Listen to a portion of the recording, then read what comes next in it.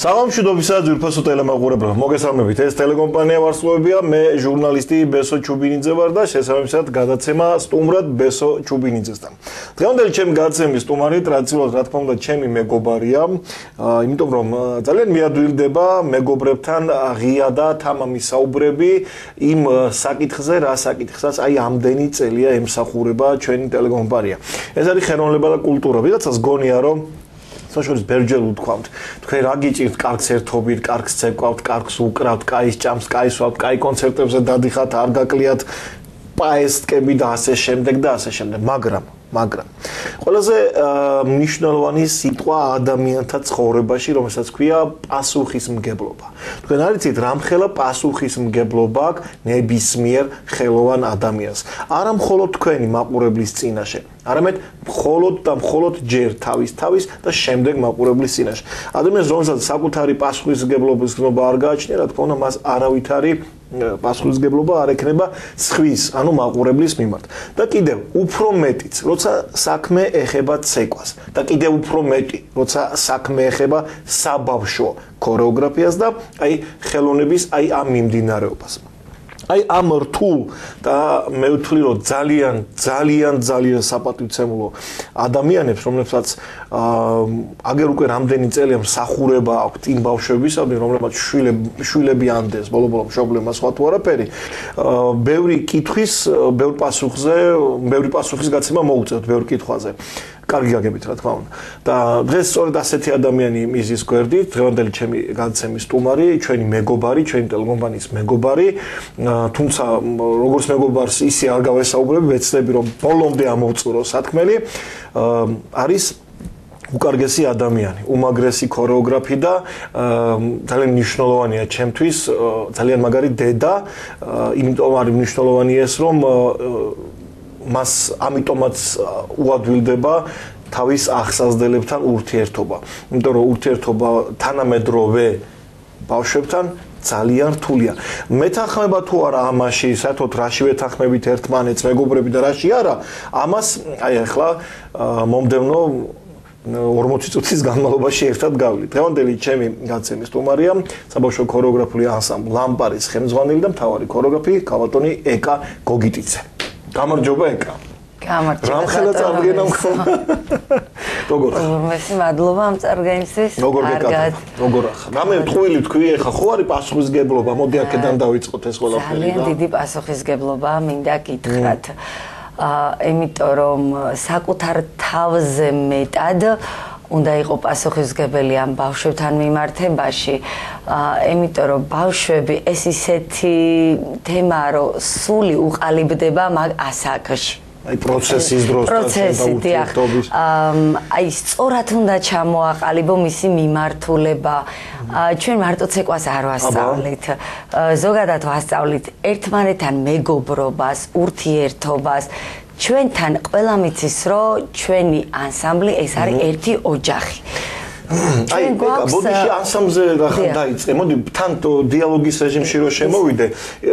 მე მე კი ვიცი, მაგრამ მაყურებელმა ვინ შეიძლება არ იცოდეს, მინდა გავანდოთ ლამპარზია საუბარი, რომელიც არის რამდენი წლის?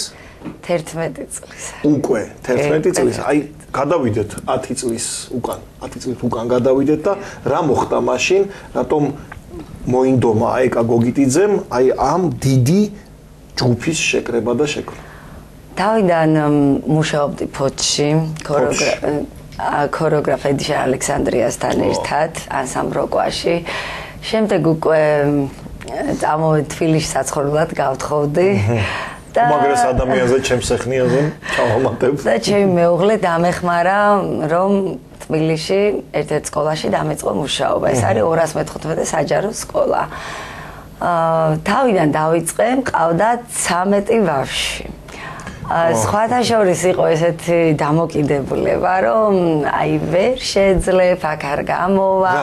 რატო? აა ზოგადად ვინც დაიწყო მაგ სკოლაში მუშაობა, მალევე ანებებდნენ თავს. რთული ობიექტია? აა ზოგადად რავი, რამოდენიმე თვეში და მე მიდიოდნენ. უი რა საინტერესო. აა მოკლედ ჩვენ გადავწყვიტეთ, რომ ჩვენ გვინდოდა რომ მიგვეღწია რაღაც მაქსიმუმისთვის და დღესდღეობით მყავს 200-მდე ბავშვი აქ სკოლაში. აა მაგ ყველაფერს მიზეზი აქვს, რატომ?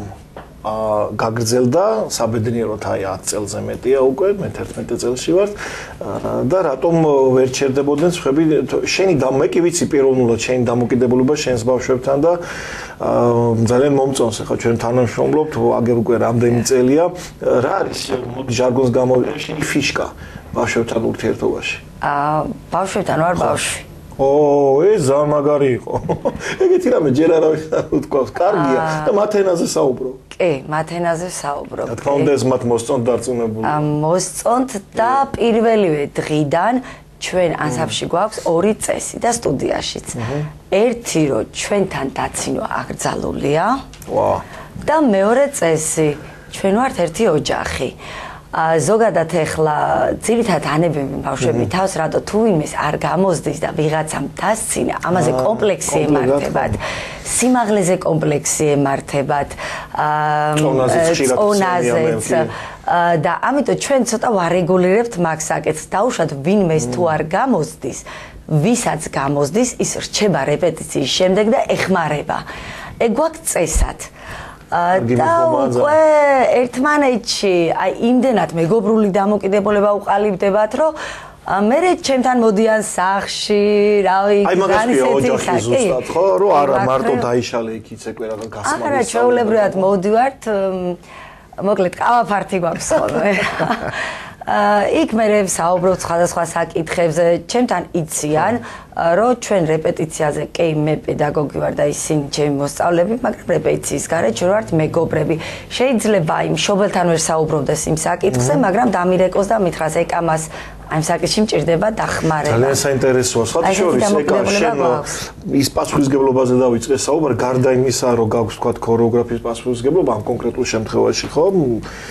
ლამპარის ბავშვები, მაგრამ შემშობლებმა საკუთარი შვილი განდეს. აა ეს აი ერთი სიტყვით არც კი ვიცი რა დავარქვა ამას, ხო? ალბათ არ არსებობს ის სიტყვა, რომ შობელმა რომ ანდო ბავში ვიღაც ჩემთვის უცხოს, ეს როგორი ის უნდა გქონდეს. აი ის დამოკიდებულება, რაც შენ ახლა თქვი, რომ იქ საქმის დროს და რეპეტიციებზე ასია და გარეთ მყავა დავლიოთ და წვენი დავლიოთ თუ გინდა და ნაყინი მივერთვათ ეს დამოკიდებულება რატომ მე მეჩვენება თუ რატომ არ არის მასობრივი თუ არის ასე და მე ვერ ხედავ. ძალიან იშვიათად ხან ჩხუბობენ, ხან ხმას უწევენ, ხან არიანე, ხან არ მინდა ეხა თქვა, მაგრამ ხან და ხან სახაზავსაც იყენებენ. აი დამოკიდებულება ბავშვებთან. ზოგადად ზომიერი სიმკაცრე ყველგან არის საჭირო. მაგის garaში არ გამოვა. მაგის garashi ნამდვილად არ გამოვა და დისციპლინა. ოპ, აი კაი სიტყვა იყო. დისციპლინა, თუ დისციპლინა არ არის გინ სტუდიაში, გინ ანსამბლში შედეგზე შესაბამისად ვერ გახვალთ. ბავშმა, აი მე მაქვს ესეთი დამოკიდებულება ზოგადად. პირველ ჯგუფში არც ვჭუბობ. არც ხმას ზედმეტად არ უწევ, ვაყვარებ თავს. ბავშვს ეს დამოკიდებულება მაქვს. მე როგორც აი სტრატეგიული ნაბიჯი მაქვს ეს. მე უკვე ბავშვს თუ უყვარხარ, შენგან ის შენიშვნას უკვე იღებს ძალიან მარტივად. აა თავარია კიდევ ბავშვის ღირსებას არ უნდა შეეხო. აა ის უნდა შეფუთო ის შენიშვნა ისე რომ იმისთვის აი გასაგებ ენაზე იყოს ეს ყველაფერი. ძალიან სწორი სტრატეგია და გეთახმები, იმიტომ რომ წევან და თქვი სტენდაპის დროს თაობაა ცოტა სხვანაირი ახლა. ხო, ჩვენ ჩემ და ჩემს თქვა უფრო კიდე იქით თაობა ცოტა სხვანაირად ქონდა ეს ყველაფერი გავლილი. იგივე პატივისცემის ფორმატიც სხვა იყო უფროსები. ახლა ცოტა რაღაცები შეიცვალა. თუმცა ის სიტყვა, რასაც სიმკაცრე ქვია, დისციპლინა, უფროსორი დისციპლინა ქვია, მე მგონი ერთი კონკრეტული ანსამბლი და რო ავიღოთ ქვეყანაშიც რო ასე იყოს ყოველთვის იქნება წარმატებული ქვეყანა. ალბათ ლამპარის ერთ-ერთი აა როგორ თქვა და წარმატების მნიშვნელობა გარდა ის რომ კარგად ცეკვას ასწავლი და ეს ალბათ არა დისციპლინა ყველაზე ერთ-ერთი მნიშვნელოვანია ხო ყველაფერთან ერთად. კარგი, იცი რა მითხარი, ეგა გავიდა ეს 10 წელი, აი ხლა უკვე მე 11 წელი დადგა.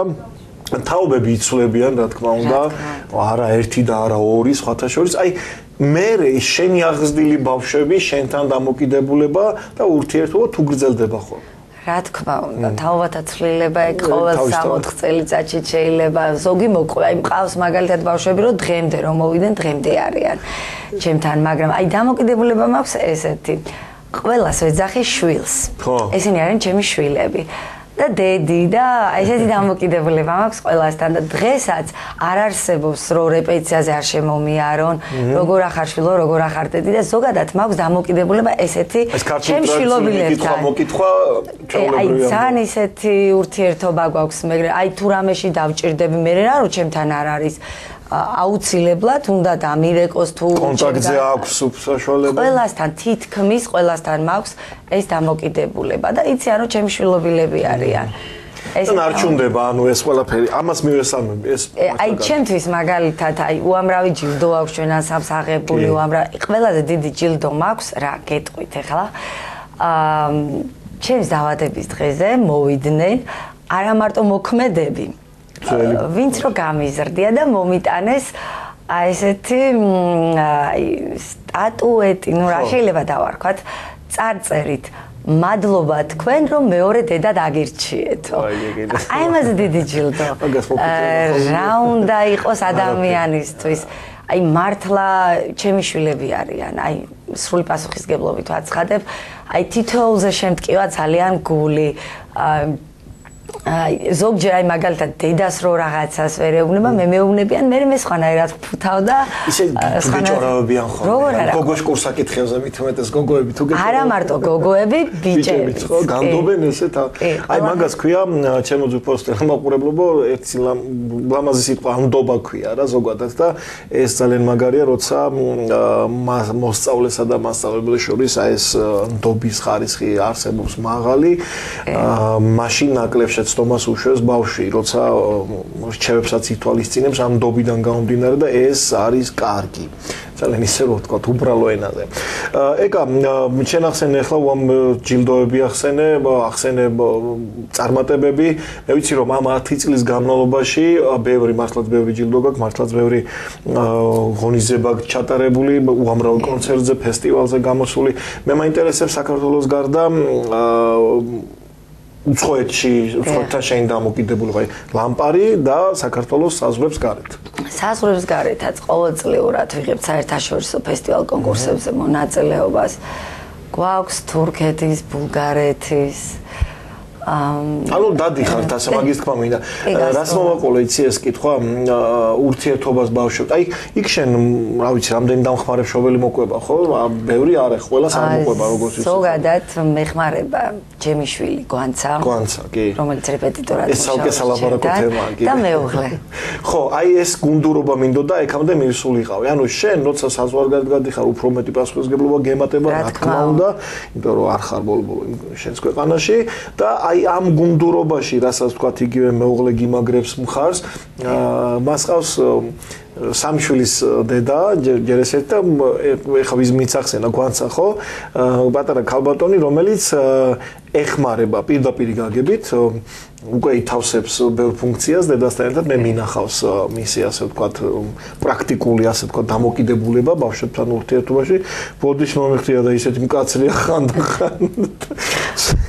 ჩვენ დროს ამოვიდეს სპირნაზე და ხოლმე ეს პატარა ბავშვი ხო და აი ეს ოჯახურ ტრადიციად ხომ არ აღიქმება უკვე ამ სტატუსით? ფიქრობთ რომ ამ ხაზით წავიდეს ჩააბაროს თეატრალურ უნივერსიტეტში ამ წელს არ გამახსენებოცა ჯერ 16 16 ხო ანუ ჯერ თელი მომავალი წინა არჩევანი პრაქტიკას გადის. არჩევანის საშუალებაც აქვს და უფროსი და პატარა?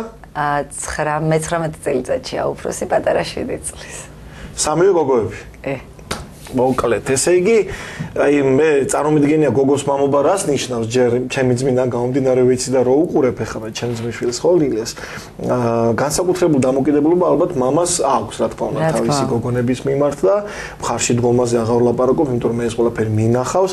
აა იმ შემთხვევაში როცა კრიზისული სიტუაციები გულისხმობ მაგალითად აი მოდი რა ვიყოთ უკანასკნელი ყოფილიყოს ის პანდემია რაც ჩვენ ყველა მერთად სამწუხაროდ სამწუხაროდ საბედნიეროდ გამოვიარეთ მაგრამ სამწუხაროდ მოხდა. აი ამ ყველაზე კრიზისულ პერიოდში როცა ყველაფერი გაჩერებული იყო და რა თქმა უნდა ლამპარიც არ იყო გამონაკლისი და გაჩერებული იყო რა ხდებოდა თქვენს ოჯახში და არა მარტო ამ ხუთკაციან ოჯახში გულისხმობ ლამპარის ოჯახს. აი რა ხდებოდა ამ პერიოდში? ზოგადად ძალიან იმოქმედა ამან რა თქმა უნდა. აა ძალიან რთულია ხელოვანი, რომელიც დამოკიდებულები ხარ აი ესეთ იმაზე უცებ ჩერდები. აა ფაქტიურად ფაქტიურად მაშინ გავიაზრე რომ პარალელურად მეორე პროფესიაც უნდა კონდეს ადამიანს. პარალელურად, იმიტომ რომ რთულია. მათქო. როდესაც ერთი პროფესიით ხარ, მაგრამ საბედნიეროდ ფესო ჩემი პროფესიის არ არის და მაგხრი გამოგათხათ ეს ამბავი.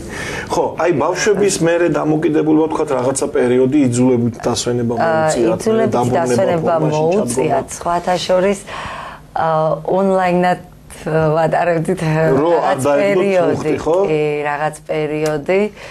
ქონდა ეგ ვარიანტიც და მე უკვე როგორც კი იმის საშუალება მოგვეცა რომ პირბადეებით შევსულიყავით აბსოლუტურად არც ერთი ბავშვი არ დამკლებია, ყველანი მოვიდნენ. და პირბადებით ვარჯიშობთ. ხალხო. კი, ვარჯიშობთ, ჭულები. წარმოგიდგენიათ ეხლა თქვენ რა რა გავიარეთ? პირბადით ცეკვავენ ბავშვები. და მაინც ცეკვავენ რა. ძალიან რთულია. ხო ნუ იქ სუნთქვა საჭირო რაღაც ხაზების გას გასოს მანძილის დისტანციას რო იმას გვიშვებოდნენ ხოლმე გვავალებდნენ რომ მეტრა ნახევრი ან დისტანცია. ქართულ ცეკვაში დისტანციის მეტი კი არაფერი არ არის. ეგ არის პერიოდი ხო აი ეს გამოიარეთ მაინც აი ბავშვები არ წავიდნენ არც ერთი ყველანი დაბრუნდნენ და ისევ მშობლებმაც გაიაზრეს რომ ფიზიკური აქტიურობა უკვე აუცილებელი იყო ზოგადად რაღაც დადებითი მუხტი ამ პანდემიამაც მოგცა ბევრმა გადავიაზრეთ სხვა შესაძლებლობები და სხვა მოთხოვნები, რაც ჭირდებოდა ბავშვ თუ ოჯახს თუ თუ პატარას. სხვათა შორის თუ დააფიქსირეს შე რომ პანდემიის დროს რამდენ ადამიანს ხვანიჭი აღმოაჩნდა და გამოძერწა თავისი შინაგანი სამყარო და ხვანიჭი ზოგმა ხატვა დაიწყო ზოგმა წერა ქარვა. სხვათა შორის მეც ვცადე კერვის ხაზით, რომ ცოტა ხანში საკუთარი ფორმები თვითონ შევკერო. რომ სადე ეს გააჩერე ეს მცდელობა მერე? არა, ეტაპობრივად, მაგრამ ჯერ პროფესიონალ დონეზე არა ვარ. სწავლა დავიწყე მაგ პერიოდში. ხო, აი ამას ქვია ზუსტად ზოგი ჭირი მარგებელია, რომ ადამიანებმა დაიწყეს ეს გამოვლენა იმის. კარგი, ეხლა მინდა ძალიან მნიშვნელოვან თემას შევეხო და თავშიც თქვი, რომ მე ხა მეგობარი კი ამეთქვი, მაგრამ მაინც მაინც არ ვეცდები თქვენ, მასაი ცუდი ბწყალებს, ცუდი ჟურნალისტის როლიც მინდა მოვირგო, რა გაგებით იცი? უყურე პირადად მე და თქვა ჩვენ ტელეკომპანია შენც ძალიან კარგად იცი, კარგი აგებით მიდემოდებული ვართ თელ საქართველოს, ავით სოფელი არ დარჩენილა და ქალაქი ჩვენ რო არ ვიყოთ ნამყოფი და რომელიმე ასამბლის ხელმძღვანელს არ ვიცნობდი, ან რომელიმე ფესტივალის ორგანიზატორს და ასე შემდეგ. რასაც მე ამ პერიოდის განმავლობაში ვაკვირდები, ამ მთელი წლის მანძილზე ხო რამდენი რაღაც სტარდება მთელ საქართველოსი საბედნიეროდ და უყურებ ბავშვებს რა მოტივაციით წეკვავენ რა მოტივაციით გამოდიან ფესტივალზე უყურებ შობლებს უყურებ ორგანიზატორებს. ხშირ შემთხვევაში მეც კი, რომელსაც თქვა საკუთარ თავის დაცინვა შემიძლია, იმიტომ რომ არც ეკვა ვიცი და არც სიმღერა, მაგრამ ძალიან კარგი. როგორც დიდი თემურ ციკლაური ამბობდა. კაცი, ნუ მე ვწეკვა იმას შალახოს თუ და იმას კიდე რა ქვია, ერთ ოჭიკას თუ და კოკო ჯამბოს მეც. ხოდა რის თქმა კითხვა მინდოდა იცი პროფესიონალიზმის ხარისხი აა თან საქართველოს მე დავიწყეთ მაგაზიო მე ვაგვირდები და შემფასებლად ვარგი ვარ იმიტომ რომ მიყვარს კარგი სიმღერის შეფასება კარგი მსმენელი ვარ და კარგი მაყურებელი ვარ. თუნდაც ცეკვისას ეხა ხაზ ხანდახან მეც კი უთითებ ხოლმე ბავშვებს კულისებში როდგავარ ბავშვებო ხაზი გასწორეთ ჩენა მოდით კლავი დაიჭირეთ გასმასწოროთ. მე მგონი თქვენ ხელში რაღაცას ვისწავლი მე და რაღაც ქორეოგრაფიული ანსამბლი ვარსკვლავები უნდა ჩამოვაყალიბო ხუმრობ პროფესიონალზე მივედი. რას ნიშნავს პროფესიონალიზმი? აქ არ გულისხმობ მაინც და მაინც დიპლომს, რომელიც დაბეჭდილი გაქვს. ყალიბდება თუ არა ადამიანში პროფესიონალიზმი, მაგალითად პრაქტიკიდან. ყალიბდება თუ არა თეორიული ცოდნიდან, იმიტომ რომ ქართულ ქორეოგრაფიას ვისაც არ უნდა გაუკვირდეს დიდი თეორიული ბაზა აქვს. ანუ ციგნებია დაწერილი და აი ხანდახან იმ სიმძიმე ციგნები რომ ერთი თვე მომუნდები წაკითხოს. აი ამ საკითხზე მინდა მელაპარაკო. აა გეთანხმებით როგორც თეორიული თვალსაზრისით უნდა იყოს მაღალ დონეზე ქორეოგრაფია მომზადებული, ასევე პრაქტიკა. პრაქტიკა ზოგადად პრაქტიკას ძალიან დიდი მნიშვნელობა აქვს ჩვენ სფეროში. შემიძლია არ დაგეთანხმო. თან სიახლეებიც დროთა განმავლობაში ბევრი რამე იცვლება. ცეკვაშიც. აა ცეკვაშიც გვინდა თუ არ გვინდა, საბაზისოს ვინარჩუნებთ, მაგრამ სიახლეც ემატება. ამიტომ რომ ზოგადად თაობა რო იცლება, თაობას კიდევ სხვა მოთხოვნილებები აქვს. რა თქმა უნდა, ფოლკლორი ეს ხელშეუხებელი უნდა დავტოვოთ, უნდა იყოს, მაგრამ რაღაც სიახლეების მომხრე მე პირადად ვარ. კაი, მოდი ვიდაოთ მაშინ. აი, უყურე, კონკრეტულ მე ხარ დავასახელებ იმ დიდ ანსამბლს, გააკეთეს რაღაცა ახალი, თქვათ, შოუ შესთავაზეს მაყურებელს. რაღაცა ნაწილმა მიიღო, რაღაცა ნაწილმა მიიღო, თქვა რომ ეს არის მკაცრად ხელშეუ. ეხა რა შევადარო, როგორ რა ვთქვა, ისე როგორც მაგალითად თეიმურას ციკლური მღერის იაროს, რაც არ უნდა მიბაძონ მის ხმაზე, ვერასოდეს ვერა ვერ იმღერებს. ხო, აი, ძალიან შორი გადახტომა გავაკეთე, მაგრამ დაახლოებით მივხვდი ხო რისკმაც მინდა. ხომ არ არის საჭირო რაღაცები დავტოვოთ ასე ხელშეუხებელი. რა თქმა უნდა. და არ ვეცადოთ ექსპერიმენტების ჩატარებას. სწორი მიდგომა გააკეთეს მაგალითად სუხიშვილმა, ხო? ხო, თუნდაც აი. აქვთ. ეგ არის ბრენდი და მთელი საქართველოს ეთაყვანებით მაგათ, ხო? აა ჩემი პირადი აზრი. ხო, ხო. მათ აქვთ ძველი პროგრამა, ხელშეუხებელი და აქვთ სიახლე, რაც მოსწონთ თანამედროვე ახალგაზრდობას. ეგრეთ წოდებული კლუბური. აა ხო, აი ხა გემოვნებაზე ზოგადად არ დაობენ, ვის რა მოწონს. თუმცა ყველაზე მეტად მაგაზე. თუმცა ყველაზე მეტად მაგაზე დაობთ. ხო, მესმის, ანუ ყოველთვის იქნება ეს ჯახი, ხო, მაგის უნდა. ხო, რაღაცა იქნება, კი, იქნება, იმიტომ რომ რაღაც დონეზე ახალგაზრდობას მოსწონს ეს თანამედროვე ვარიანტი. ვარ მოსწონდეს ასე. შევინარჩუნოთ ძველი. აი მანდ გვაქვს პრობლემა, ხო არ დაიკარგება ხო? და შევინარჩუნოთ ძველიც, აუცილებლად. ხო, ჩაიძირება, ხო არ ჩაყლაპავს ამ ძველს ეს ყველაფერი. აი მე მაგის შიში მაქვს. ზოგადად ამის შიში მეც მაქვს. მაგრამ რაღაც ტრანსფორმაცია უდნა მაინც მოხდება. კი, მაგრამ აუცილებლად მე ვთვლი რომ რაღაც ჩინეთის კედელივით უნდა შემოვალოთ რაღაც ჩვენ შეუხებელ რაღაცა. უნდა იყოს ამისთვის კი, მაგაში გეთანხმებით, ის ძველი უნდა დარჩეს მაინც მარტო მარტო სამუზეუმო ექსპონატად არ უნდა იქცეს მაგალითად ის რაღაცა ხარისხიანიც და პირველიც თუნდაც მოდი ასე ვქო. მაგრამ გეთახმები აბსოლუტურად ის ტრანსფორმირება, რასაც აკეთებენ, მარტო სიხიშვილები არა, ქართული ქორეოგრაფებიც. იმიტომ რომ საზოგადოება აიტაცა. და უკვე იძულებული, არა, იძულებული ცოტა ისეთი სიტყვა. მიყვება მომ ტენდენციას? აი ხო, ეგ კარგია, ცუდია, ეგ სადაო თემა და ჩვენ გაცემა მაგას არ ეყოფა. მაგრამ ძალიან აი დამახინჯებული ფორმით არ უნდა ხდება. აი აი მაგაში, აი მაგაშია საქმე, ვიღაცამ უნდა აკონტროლოს ეს ფორმა. ხო, აი მაგისტვის ზოგადად თეორიებიც არის საჭირო მე მგონი. რა თქმა უნდა და მეტი თეორიული განათლებაა საჭირო. კი. ამაზე შევთანხმდით. ძვირფასტელ მაყურებლებმა გარდა იმისა, რომ თქვა ეკა გოგიტიძე არის ანსამბლის ხელმძღვანელი, როგორ ქვია ის მთავარი ქორეოგრაფი თუ ხელმძღვანელი თუ დირექტორი? თავი ქორეოგრაფი, ხო? ასევე ის არის ქართული ქორეოგრაფიის ეროვნული ცენტრის თანამშრომელი. ჩვენ ძალიან ხშირად თავაზობთ ხოლმე მათი ერთმანეთის პარტნიორები ვართ ამის თქმა მინდა და არის საზოგადოების უნივერსიტეტობის სამსახურის ხელმძღვანელი. აა მე რასაც უყურებ ხოლმე კონკრეტულ ფესტივალს ზაზამ ჟავანაძეს მოვიკითხავ, რა თქმა უნდა, დიდი პატივისცემით, კაპიტონ მანანას, დიდი პატივისცემით, ისინი კარგა ხანია, დიდი ხანია ემსახურებიან მანანას 25 წელია დაახლოებით იცნობ ჟურნალისტიკიდან, ასე ჩვენ ძველი თაობის ბავშვები ვართ, ასე ვთქვათ. და ნუ ზაზად თავისთავად ამ საქმის მწოდნე და ამ საქმის პატივისმცემელი. აი სამსახური რომელსაც შენ წარმოადგენ ამ კონკრეტულ შემთხვევაში გარდა ლამპარისა ხო არის ფესტივალების ორგანიზატორი არის ურთიერთობაში ხარ ძალიან ძალიან ბევრ ადამიანთან პიროვნულადაც, ну მე იმ ადამიანების უკან კიდე ცალკე ესეთი ნაძვის ხესავით ქსელი იშლება, იქ კიდე ბავშვები, მშობლები, რთული არ არის ეს ყველაფერი?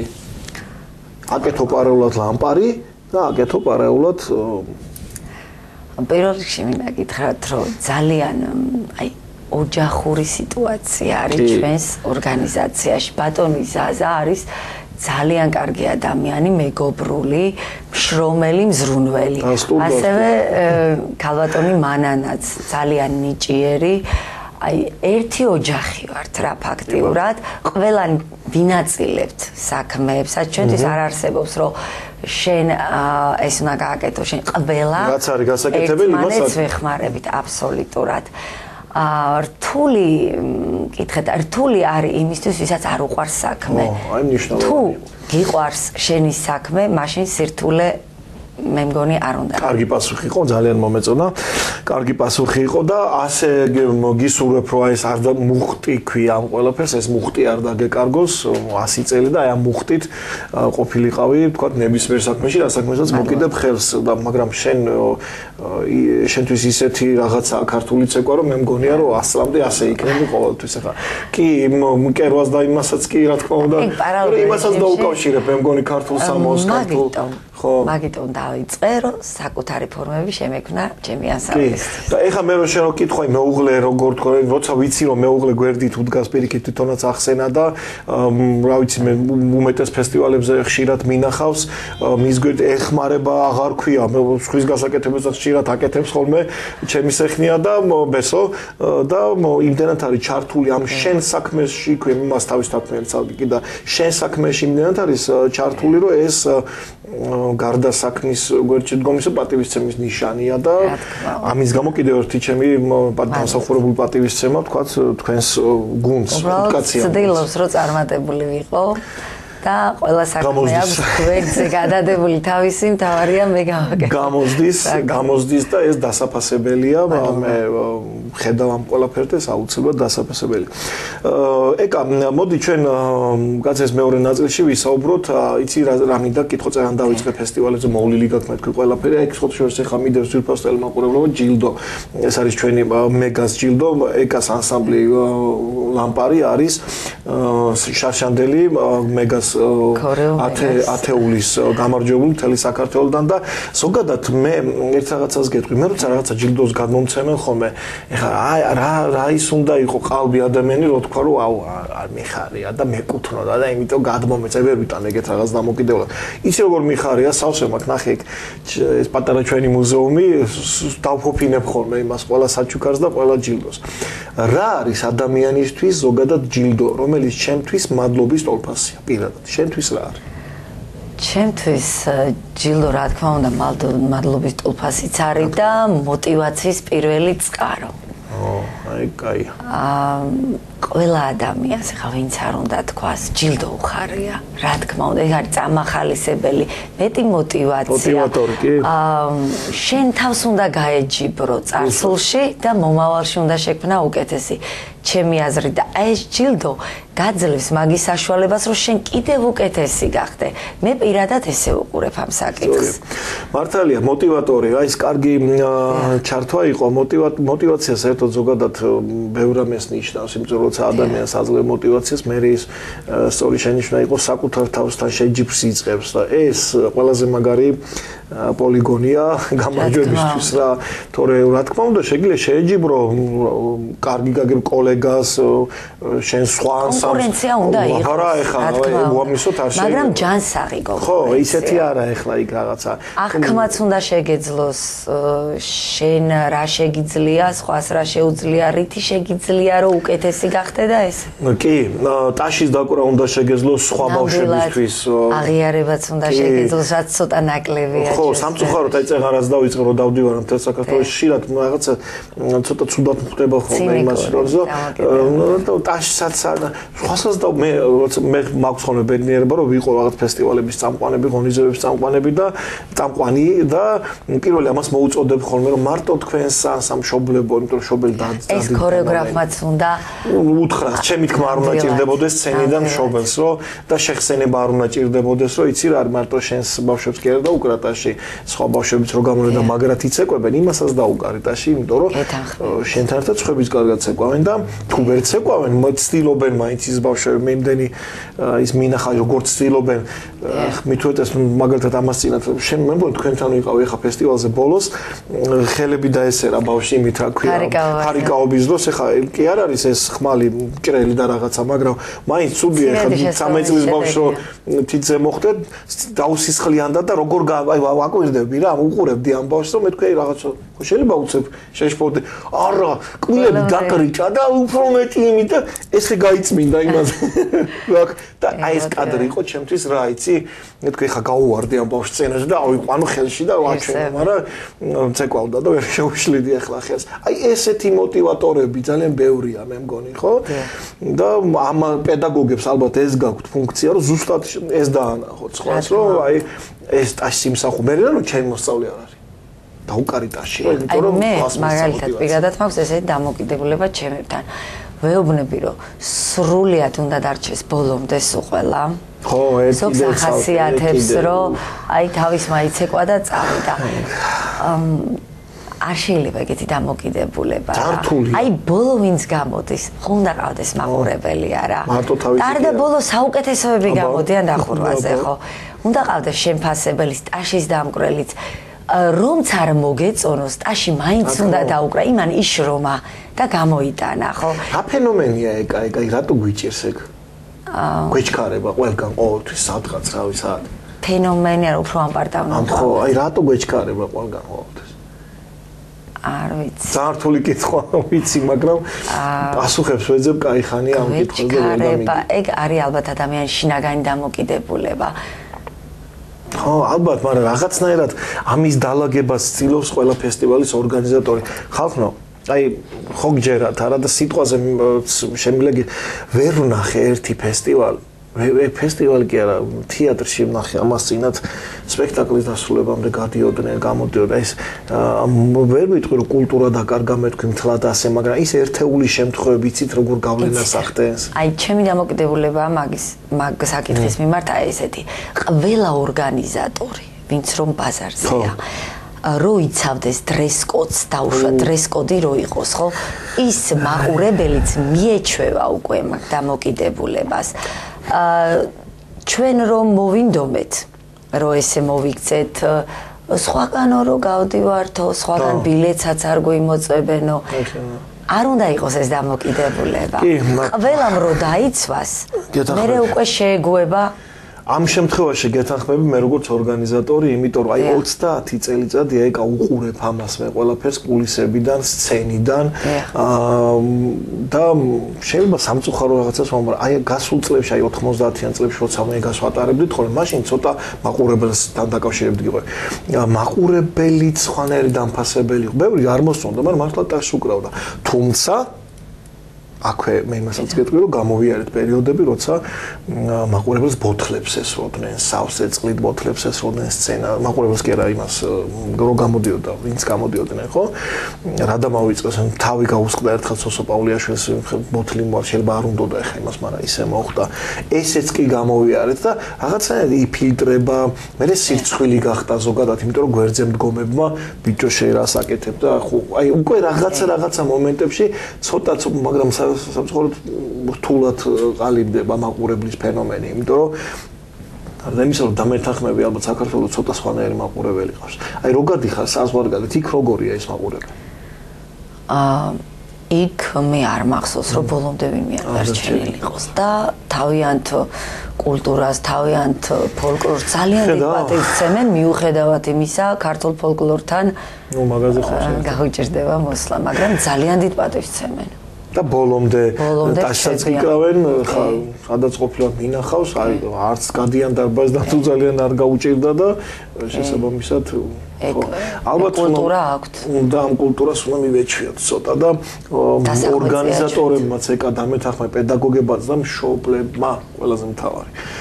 მშობლებმა აი ამ სამკუთხედი უნდა შევკრათ ორგანიზატორები, პედაგოგები და მშობლები და აი სამკუთხედი აი ურთიერთშეთანხმება რო იყოს ხო რაღაც აი ერთი წელი შეიძლება არ იყოს ამ საკითხს დაუშვათ, მაგრამ აი ყველა ორგანიზატორისთვის რო იყოს ეს მისაღები და ითხოვდნენ ამ სიმკაცრეს მაშინ მივახცევთ შედეგს. გასაგები. კარგი, ეკა ჩვენ გაცემის დასასრულამდე აი შენ რა სწრაფად გარბის ხოლმე დრო ამ იმაში რამდენ რაღაცას ვერასწრებ ადამიანი. გაცემის დასასრულისკენ მივდივართ ნენელა და შეხვარგინა ჯერ ამის თქმა ის მითხარი, მე იმიტომ რომ ერთი ორი კითხვა მექნება. იცი რა მინდა ეკაგითხა, აი ამ ეტაპზე რა ეტაპზე დღეს ვართ ჩვენ. დღეს არის ლამპარი ვარსლოვები, აგერ ქვეყანაში ამ მდგომარეობა კი ხედა მუდმივ მიტინგომანიაში ვართ უკვე აი გამოწერილი აქ ამ ქვეყანას რა ყოველთვის რაღაც ცვლილებები. მაინც ვახერხებთ ჩვენი საქმის კეთებას და მეთანხმები თუ არა იმაში, რომ ჩვენი ქვეყნის გამარჯვების ნებისმიერ საქმეში აა ერთ-ერთი ყველაზე მნიშვნელოვანი მასროლი არის ქართული ხელოვნება, ქართული ცეკვა. აი რა რა რა როლი აქვს ამ ყველაფერს საქართველოს წარმატებაში? აა ზოგადად ქართველებს გენში გვაქვს ქართული ფოლკლორი. ძალიან და ძალიან დიდ პატივს. ქართულ ცეკვას განსაკუთრებით და ქართულ ცეკვას ძალიან ბევრის გაკეთება შეუძლია, რომ ერთ მუშტად შეკრას საქართველო. ამაზე ბევრი მიფიქრია, მაგრამ აი ზოგადად რომ დაფიქრდნენ და ცოტა მეტი ყურადღება მიექცეს. აბა რა შეიკრება ეგ. ეხლა შენ თავდაბლობ, მაგრამ ცოტა მეტი კი არა, მე მგონი პირველი ყურადღება უნდა მიექცეს ამ ყველაფერს. ძალიან ბევრი ბავშვია დაკავებული, იმ ბავშვის უკან მშობელი დგას ნათესავები, შეიძლება ამის ერთ მუშტად შეკრა. ალბათ ისიც გასათვალისწინებელია, რომ აი წარმოედგინე ხა სუხიშვილებ რუსთავი ერისური კონცერტებს სულ ანშლაგებია. კაცო რა სადგორბიო რა სუხიშვილებ ჩვენ რო ვატარებთ ხოლმე ფესტივალებს და იქაც სულ ანშლაგები, სულ ბევრი ხალხია. მანდ ვინმე ანსხვავებს, ვინ ნაცია, ვინ ქოცია, ვინ გირჩია, ვინ ყველა ხო ერთად არის, ხო პარტიულობის მიხედვით არ შემოდიან ეს შობლები. ანუ დასკვნა რა არის ხალხო? რა ერთიანებს ამ ხალხს?